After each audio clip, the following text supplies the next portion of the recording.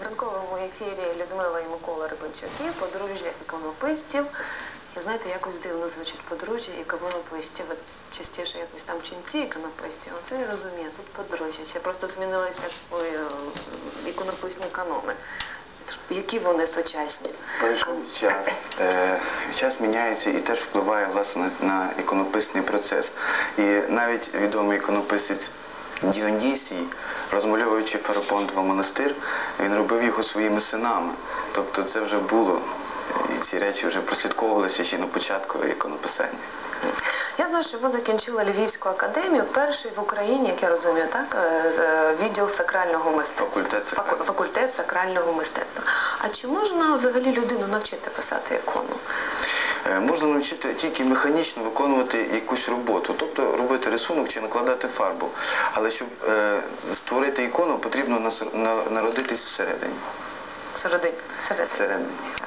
Ми були в е, музеї Павла Тичини і зняли ваші ікони. Зараз маємо їх на відео. І якщо можна, ми їх подивимося і будемо розмовляти паралельно. Скажіть, а сучасна ікона, чим вона ну, категорично відрізняється від канонічної ікони? Е, В принципі, різниці як такої немає. Головне в тому, що вона пишеться тепер і в цей час. Художник вкладає те, що пережив в цей час і зрозумів в цей час. Тобто час відбивається через іконописця і створюється нова ікона. Час, все робить час. Ви говорили, що коли е, малюєш ікону, то пишеш ікону, вибачте, то е, е, руки стають легше, може це інше відчуття, ніж Це коли ти працюєш цікаво. натюрмортом. Дуже цікава річ. Коли ти робиш натюрморт чи малюєш пейзаж, зовсім не ті враження. Коли ти працюєш з іконою, е, відчуття легкості, руки стають неначе не фізичні. Ти відчуваєш легкість і надзвичайно приємну насолоду всередині.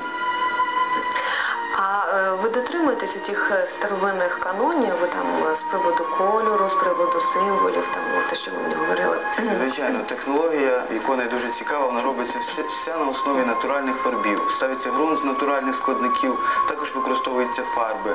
І дуже цікава річ, що колись старі іконописці використовували фарби з берегів Дніпра. Брали камінчики з Дніпра і перетирали його на дрібнесенький порошочок, додавали до яйця, до жовтка.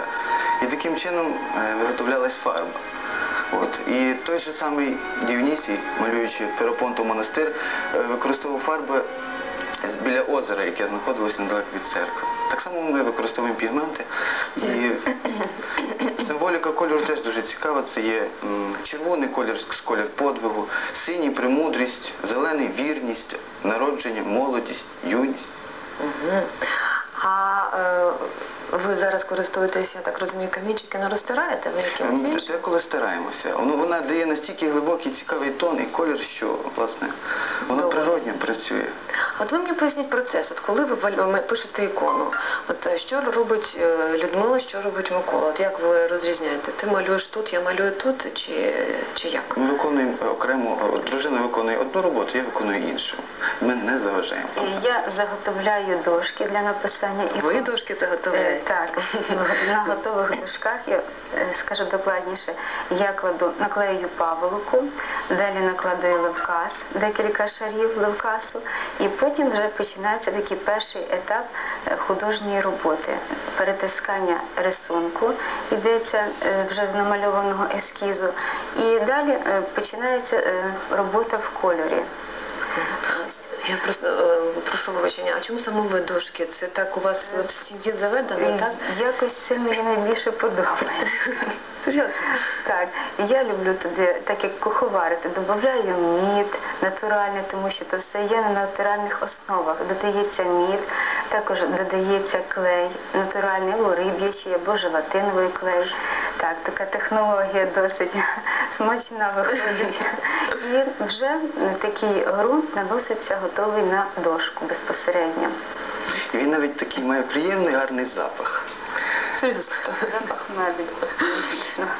А от українська ікона, е, вона ж відрізняється від, наприклад, московської, російської ікони. І от ті випадки, які ви мені розповідали. Дуже цікава різниця. Загально прийнято, що шедеври російського іконопису були створені в Росії, так зване Устюжське благовіщення. Вона була написана тут, в Києві. Вона знаходилася над золотими воротами в церкві Благовіщення Господнього. Потім вона була Боголюбським перевезена до Москви і там вона була признана як російська ікона. Таких ікон є безліч. Різниця між російською і українською іконою в тому, що російська ікона вона сувора, аскетична. Українська же м'яка, лірична, душевна і приємна. В тому і вся Такі повнолиті всі ви говорили ми. Круглиць, опецькуватий Христос, гарний, веселий. І от в цьому воно відрізняється. Веселий, радісний. Червонуваті. Так, такі рум'яна.